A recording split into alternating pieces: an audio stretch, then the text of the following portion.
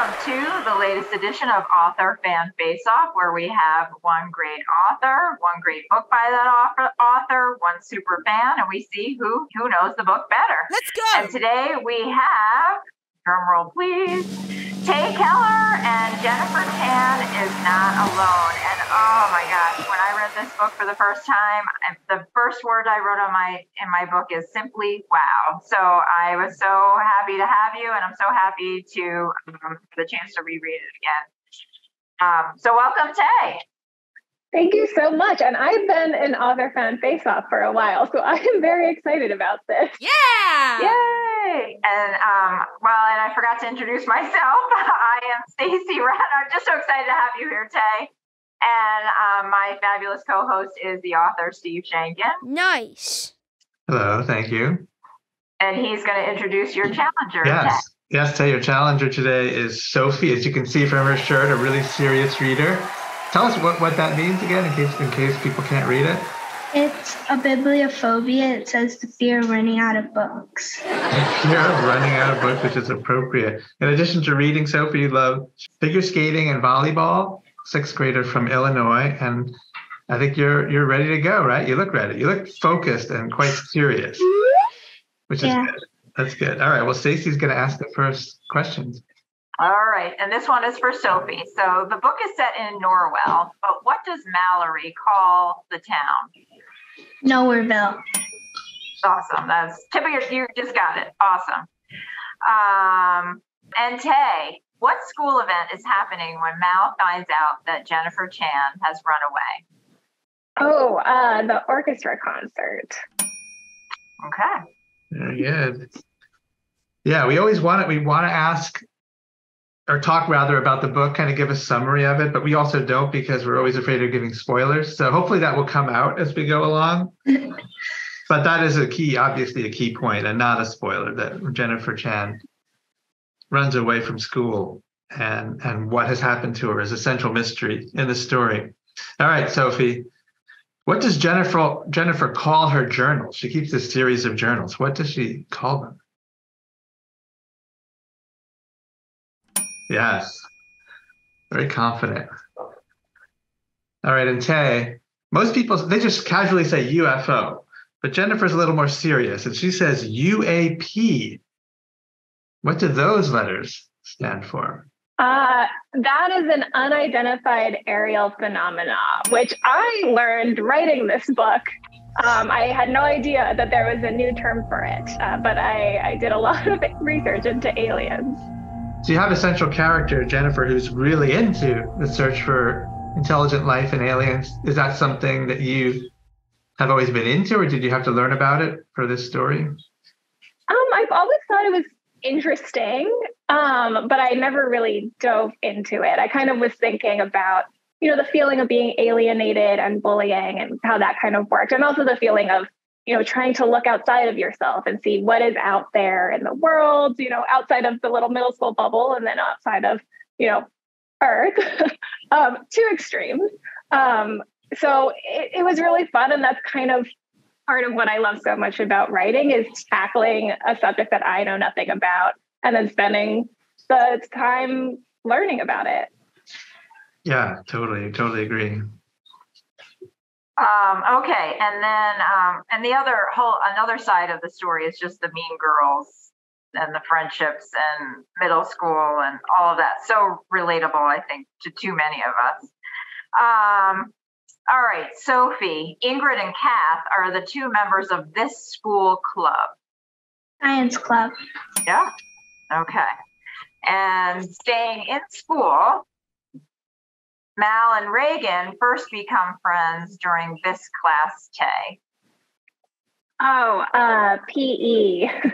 and they bond uh, by getting out of PE, which uh, is, you know, something that I, I don't officially encourage, but uh, may have done a few times.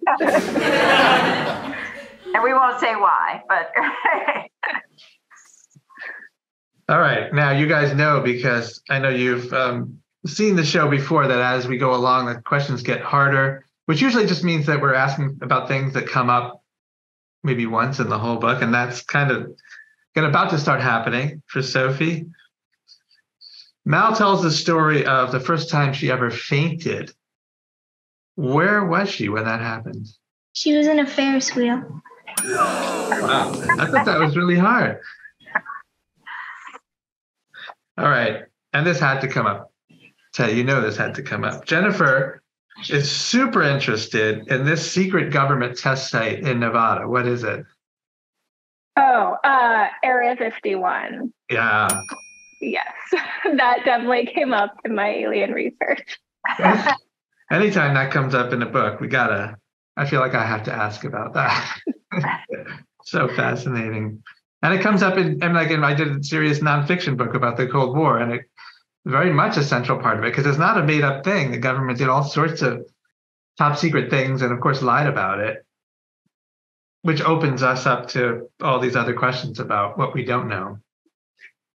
Yeah, I know it's interesting to look into and, and think, you know, even if it's not aliens, there are still so many mysteries and, oh, and Oh, things to explore. Definitely. All right, All right. four to four. All right, Sophie. And this comes up a you know a few times. Mal's father only makes this food on the worst days, days the family needs extra comfort. What is it? Oh no! Starts with an S. yes, you know it. Right? Sauerkraut? Yeah. Yum yum yum yum. Wow, that's so impressive. That was a really hard question. I guess you're not a fan yourself of the uh, the old sauerkraut. Um, where did that come from, Tae? Uh, that little detail is based on my own life. My dad has a, a family recipe uh, sauerkraut, and it's it's our New Year's tradition. And then you know on special occasions he'll make that sauerkraut. And I, I really I, I wasn't a fan of it. well, for most of my years as a kid, and kind of only recently that I've I've come to appreciate it. Yeah. All right. Now this one, Tae, is I think this is really hard. Jennifer has two posters of astronauts on the walls of her room. Who are they? Oh my gosh, this is hard specifically because I kept changing them. Oh my gosh. Um I don't know. I I went through a few. Um And I and maybe Sophie remembers. um, well, Mae Jemison and then Leroy Chiao. Am I pronouncing that right? yes. Yes, yes, yeah. Oh, the first Chinese American, I think, um, astronaut. Okay. Yeah, we always find that when we ask very detailed questions like that to authors, they're like, well, in the first draft it was this, and the second draft, I don't remember who I actually put in. So yeah. that was that was mean. That question. That was, that was a good question. it was a good question. I, I I put it on there, so I'm blaming myself. That was that was really tough. Um, That's the kind of question that that would be like a bonus question in a pop quiz. yeah, we had a we always come up with we have a few options for bonus ones. I picked this one for as a bonus because I really liked it, but and I didn't know it, so I love learning something new about about space and and that kind of science. And all right, so it's five to four, but whoever knows this, feel if you feel you know it, raise your hand. Let me know, and I'll call on you. Now, Jennifer is a science expert and space expert, and she describes something called the altruism theory which is quite brilliant. What is it? Who can describe that for me? Oh, Sophie, first up. Isn't it that like aliens they've already gone through like their um like pandemics and world wars and like stuff like that and they're advanced enough to start to look for um other life and try to contact us? That's part of it. That's part of it. There's another element that's really important to it. I don't know if Tae wants if you want to jump in. Uh, sure, this idea that if they have gotten that far, then uh, it's they've kind of survived this themselves in a way. You know, they haven't killed themselves off through nuclear war or anything. So that means that they must be good and they must be a peaceful species if they've reached that level of techno- technological advancement. Yeah, exactly. Very good. I would give you each a half point Yeah. because you both did it as a team. But so that means Sophie, you won. Congratulations. Amazing. Amazing.